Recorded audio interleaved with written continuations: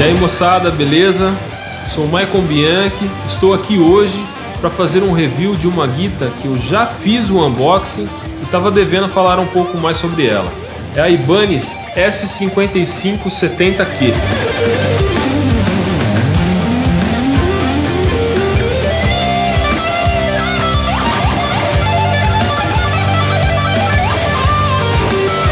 É uma guitarra fabricada no Japão e por isso tem um controle de qualidade top.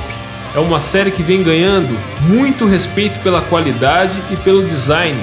Lindo mesmo, impecável.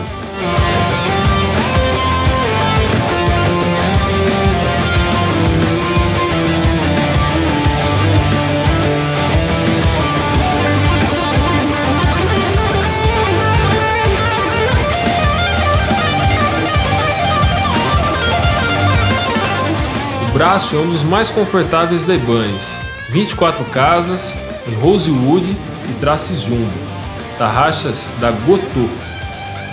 Impressionante como é gostoso tocar nessa guitarra. O raio do braço proporciona uma ação super baixa das cordas sem trastejar nada, ótimo para a técnica. O corpo é de mogno e o tampo em Kilted Maple, dá um sustain impressionante, além desse baita visual que vocês estão vendo. O som dela é bem cheio, graves bem definidos e médios bem acentuados.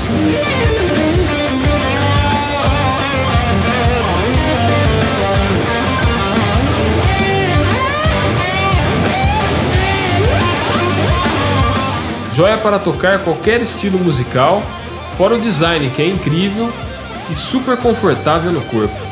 O modelo de Floyd que está nessa guitarra é o top da Ibanez é o Low Pro Ed Trêmulo.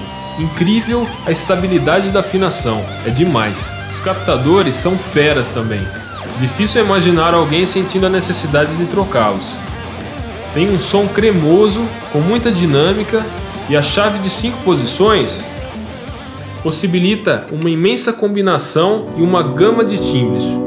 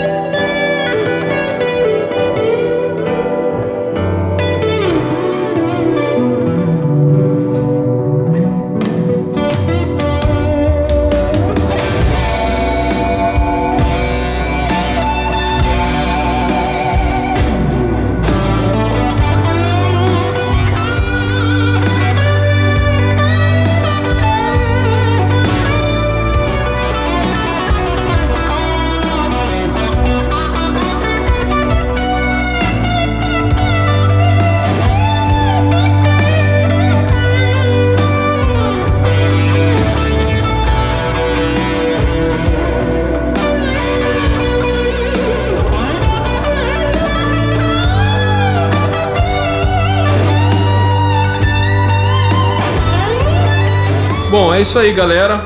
Espero que vocês tenham curtido. Para mim é sempre ótimo fazer reviews de guitarras tão legais.